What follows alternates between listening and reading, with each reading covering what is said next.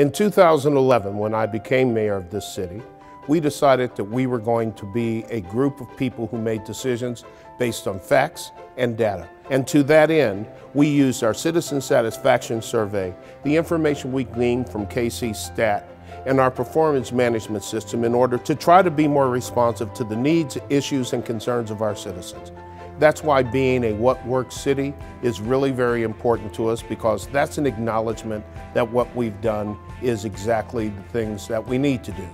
Things like picking up more trash more frequently, bulky items, ADA compliance so that everybody in the city has access to the things that they need. We've come up with the process and the resources to tear down 800 dangerous buildings and get them out of neighborhoods. We have constantly tried to make sure that we are responding to the ongoing needs of our citizens. And that's why being a What Works City is important to us because it keeps us on target and it helps us focus on the things that are really important.